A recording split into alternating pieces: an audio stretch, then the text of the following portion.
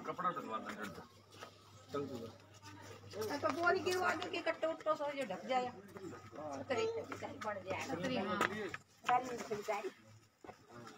आगो ज़रूरी है कतरी माया पता कर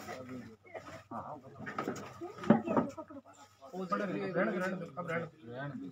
रहने कोई दिक्कत नहीं इनकी कोई खास बात आपके पास यही मकान है बस? हाँ यही ये किसने बनाया था? किसी ने मंगाया ये तो पर ये परिवार में दादा लाई है क्या है? कुछ कोई आप लोगों ने खुद लगाई है? हाँ ये खुद मन लगाई अच्छा, परिवार में कौन कौन सदस्य हो आप? परिवार तो है आप हो? आपके कितने बच्चे? मेरे पास लड़की है। लड़की लड़का नहीं है? हाँ।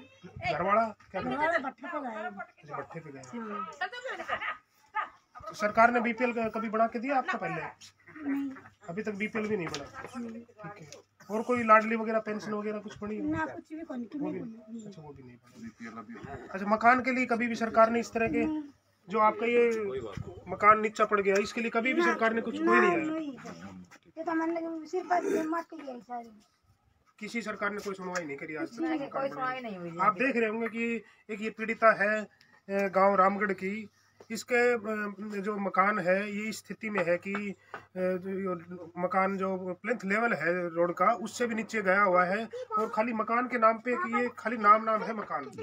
आप इसको झुग्गी भी कह सकते हैं या एक टेंट की स्थिति में भी आप मान सकते हैं इसको। आप देख रहे होंगे कि बिल्कुल टीन लगी हुई है और लेवल भी से भी नीचे गया हुआ। आज तक सर, किसी सरकार ने इनकी कोई सुनवाई नहीं की है। जबकि ये पुश्तैनी रहती आ रही है इस गाँव की निवासी है और सरकार को चाहिए कि ऐसे लोगों की सहायता करे। आप देख रहे होंगे कि इधर भी जो रहने का इनका है नाना का भी आप देखेंगे। नाना आप इधर देखेंगे इनका शौचालय वगैरह जो बना हुआ है इधर लाइएगा। ये शौचालय की इनकी स्थिति है नहाने की।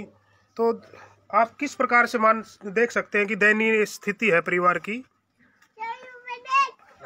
तो हम चाहते हैं कि सरकार ऐसे लोगों की सहायता करे ऐसे लोगों के मकान वगैरह जो है वो बना के दे क्योंकि इस महिला के ऊपर पाँच चार पाँच बच्चियों का भी भार है। छोटी छोटी देखिए दो